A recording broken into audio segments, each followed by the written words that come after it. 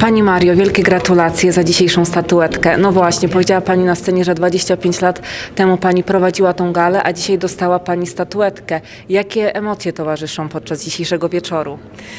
Na pewno ogromne wzruszenie. 25 lat temu prowadziłam tę galę, a dzisiaj po raz pierwszy dostaję e, orły. E, po prostu jestem bardzo wzruszona i szczęśliwa i bardzo dziękuję całej Akademii i wszystkim, wszystkim e, ludziom filmu i wszystkim gratuluję i nominacji, bo to wielkie wyróżnienie. Ja się bardzo cieszyłam z tej nominacji.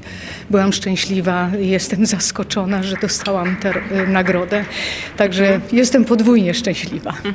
Za rolę w filmie Johnny, którą zresztą wczoraj dla przypomnienia sobie obejrzałam ten film. No zagrała Pani tam brawurowo. A jak wyglądała praca na planie właśnie zdjęciowym i jak długo Pani przygotowała się do, do tej roli? Czy może Pani nam to zdradzić?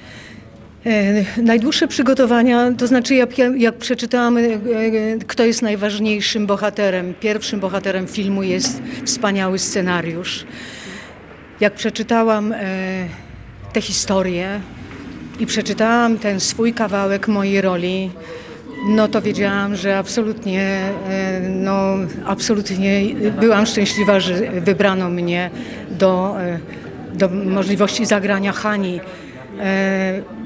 Zachwycający scenariusz, poruszający nieprawdopodobnie i e, myślę, ja właściwie jestem pewna, że to, co przeczytałam, to zostało znakomicie, znakomicie pokazane w filmie, bo e, ogromna, ogromna ilość widzów, rekordowa wręcz, poszła na ten film.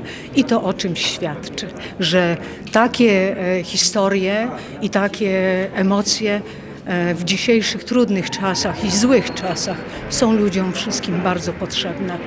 Zgadza się. Pięknie dziękuję za rozmowę. Jeszcze raz gratuluję i wszystkiego dobrego, dalszych sukcesów. Bardzo Pani dziękuję. Dziękuję ślicznie. Dziękuję wszystkim.